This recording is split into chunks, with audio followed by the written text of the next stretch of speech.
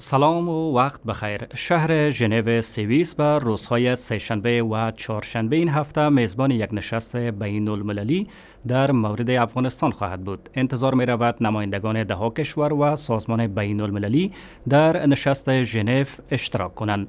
این کنفرانس به دنبال کنفرانس بروکسل برگزار می شود جامعه جهانی در کنفرانس بروکسل در مورد افغانستان در سال 2016 تعهد کرد که طی چهار سال آینده 15 دو میلیارد دلار به این کشور کمک می کند و در مقابل حکومت افغانستان تعهد کرد که در خصوص آوردن اصلاحات و مبارزه با فساد اداری گام برمیدارد.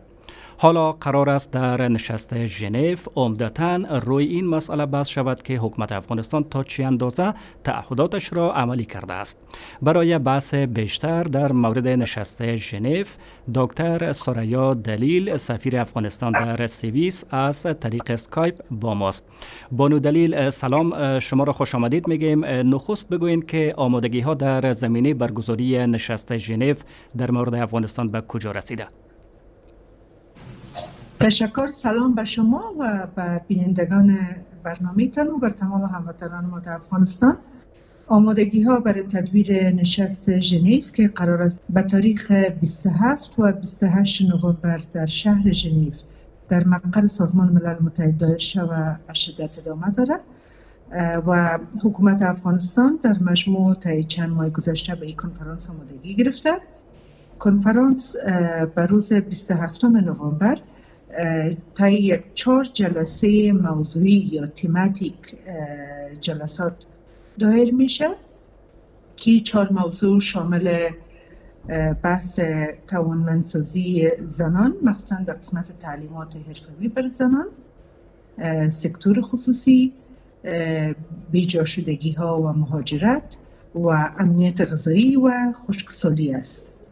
بله. این چهار جلسه هر کدامش یک نیم ساعت ادامه پیدا می‌کنه و قرار است در این جلسات رئیس جمهور و رئیس اجرایه اشتراک کنن و سخنرانی کنن بعدش به روز چهارشنبه 28 نوامبر جلسه سیاسی هست یا جلسه به سطح مقامات عالی دولت ها است که توسط رئیس جمهور افغانستان و سرمنشی ملل متحد افتتاح میشه. اضافه تر از 400 اشتراک کننده قرار است در این کنفرانس اشتراک کنند و در کشورهای مختلف به شمول کشورهای همسایه ما کشورهای منطقه کشورهای اروپایی به شمول اروپای غربی و تمام کشورهای غربی که بله.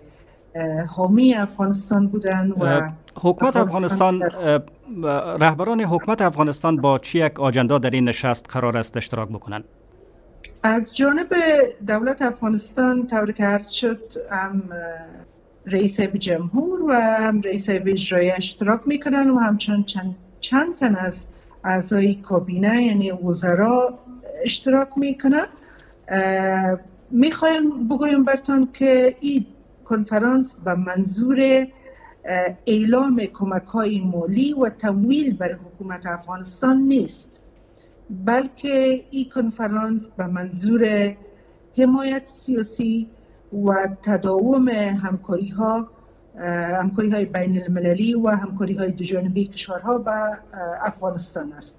بنابراین بله. این کنفرانس از کنفرانس بروکسل از نظر ماهیت خود فرق دارد در این کنفرانس یکی از آجنده های مهمی که مورد بررسی بله. قرار می‌گیره چارچوب حسابدهی متقابل بین حکومت افغانستان و جامعه بین المللی است پس این یعنی نشست از با مصرت پس این نشست از چی اهمیت برای افغانستان برخوردار است این نشست از نظر حمایت سیاسی کشورها به شمول کشورهایی که در 17 سال گذشته در کنار افغانستان بودند افغانستان کمک های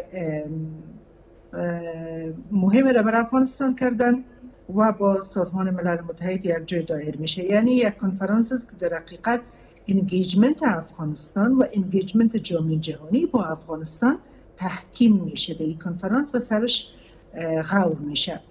همونطور که پیشتر برتان گفتم قرار است که چارچوب حسابدهی متقابل بین حکومت افغانستان و جامعه جهانی در اینجا بله.